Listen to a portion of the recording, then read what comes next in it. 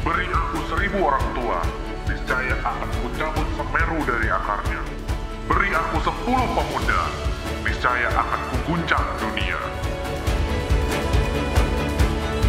Kami, putra dan putri Indonesia, mengaku bertumpah darah yang satu, tanah air Indonesia.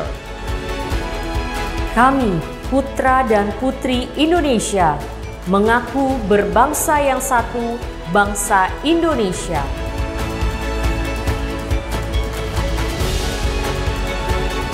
Kami, putra dan putri Indonesia, menjunjung bahasa persatuan, bahasa Indonesia.